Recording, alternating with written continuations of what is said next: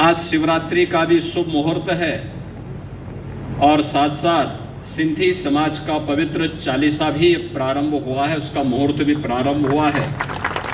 और हम सब का ये सौभाग्य है कि पूज्य झूलेलाल जी की इस भव्य मंदिर को एक बार फिर से न केवल स्थापना का कार्य आज पूरा हुआ है, बल्कि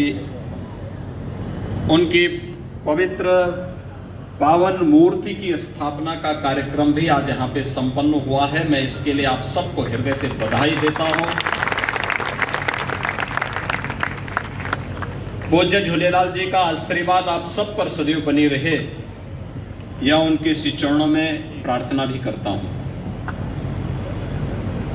भाइयों बहनों मैं आप सबको हृदय से धन्यवाद देता हूँ।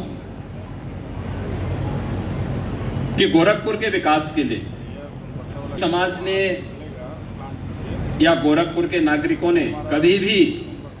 नहीं आने दी और परिणाम रहा कि ये मार्ग जो हमेशा जाम में फंसा रहता था, फोर लेन का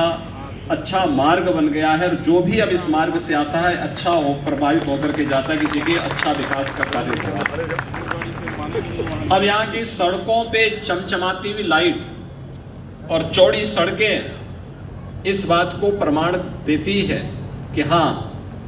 अब केवल दिल्ली और मुंबई की चर्चा नहीं होगी विकास के मामले में, हमारे गोरखपुर की भी चर्चा होगी और इसका श्रेय आप सबको सबको जाता है।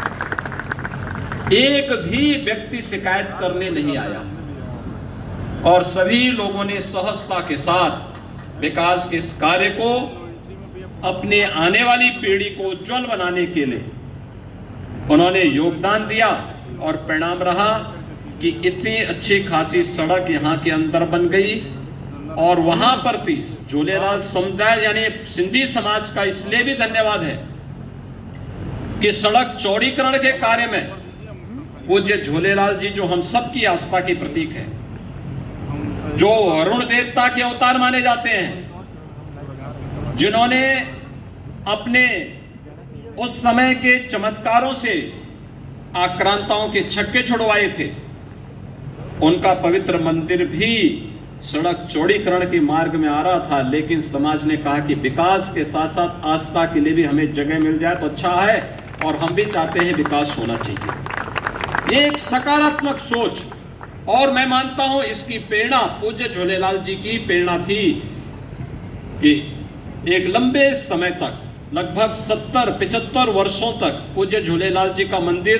पुराने स्थान पर था। अब नए स्थान पर 70 वर्षों के बाद एक नया भव्य मंदिर बना है और पहले की तुलना में और अच्छा भव्य स्वरूप दे करके काफ़ी स्पेसियस ज़मीन दे करके उसको बनाने का प्रयास हुआ है। सचमुच एक प्रयास, यह एक प्रक्रिया का हिस्सा है।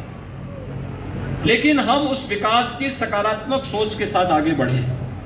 और विकास के सकारात्मक सोच का परिणाम यहाँ के सिंधी समाज के लोगों ने यहाँ पर दिया है, जो आज हम सब के सामने इस भव्य मंदिर के रूप में आगे बढ़ रहा है। भाइयों बहनों, सिंधी समाज एक प्रगतिशील समाज है। 1947 में विभाजन की त्रासदी को झेलते हुए उन्होंने न केवल अपने पूर्वजों और आस्था को संरक्षित रखा बल्कि विकास की प्रक्रिया के साथ जुड़ करके, पसीना बहा करके, परिश्रम करके, आज देश के विकास में भी एक महती भूमिका का निर्वहन कर रहे हैं, बहुत बड़ी भूमिका का निर्वहन कर रहे हैं।